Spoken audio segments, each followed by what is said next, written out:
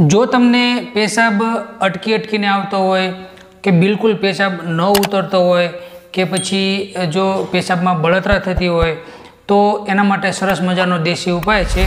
પણ આ દેશી ઉપાય કરતાં આપણે થોડુંક જાણી લઈએ કે એ શેના કારણે થતું હોય છે.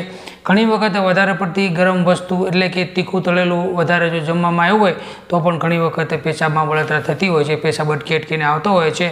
ઘણી વખત પથરીની તકલીફ હોય તો પણ આવું બનતું હોય છે. કેમ કે પથરી છે, પેશાબની જે નળી છે, એમાં જો ફસાઈ ગઈ હોય તો પેશાબ અટકી અટકીને આવતો હોય છે અને સાથે સાથે દુખાવો પણ થતો હોય છે.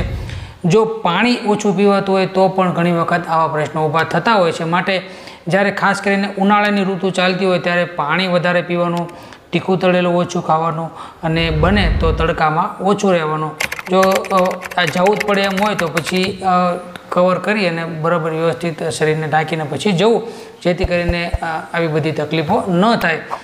પેશાબ અટકી અટકીને ઉતરતો હોય, એના માટે એક સરસ મજાનો દેશી ઉપાય છે. આ દેશી ઉપાયનું રિઝલ્ટ એટલું બધું સારું છે કે તમે એક વખત જરૂર ટ્રાય કરજો. જે મિત્રોને આ પ્રકારની તકલીફ છે, એ મિત્રો એક વખત જરૂર આ પ્રયોગ ટ્રાય કરજો. હવે આપણે આ જે દેશી ઉપાય કરવાનો છે એ સૌથી પહેલાં તો એક ગ્લાસ ગરમ દૂધ લેવાનું છે. એની અંદર એક ચમચી ચોખ્ખું ઘી ગાયનું નાખવાનું છે અને એક ચમચી સાકર પાવડર.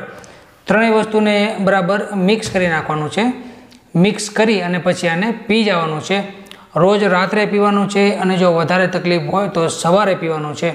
દિવસમાં બે ટાઈમ આ પ્રયોગ તમે કરી શકો છો. જો સામાન્ય જેવી તકલીફ હશે તો એક ટાઈમ તમે કરશો તો પણ ચાલશે. પણ જો વધારે જે તકલીફ જેવું રહેતું હોય, તો પછી તમે દિવસમાં બે ટાઈમ કરી શકો છો.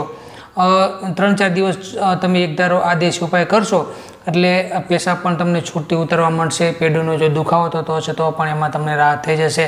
અને ખાસ કરીને બળતરા જો થતી હશે પેશાબમાં, તો એમાં પણ તમને ઘણો બધો ફાયદો જોવા મળશે.